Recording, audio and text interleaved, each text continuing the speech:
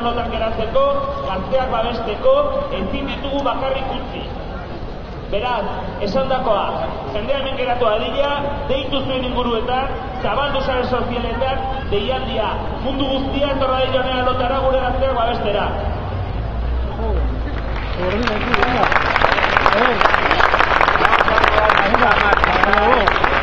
babestera.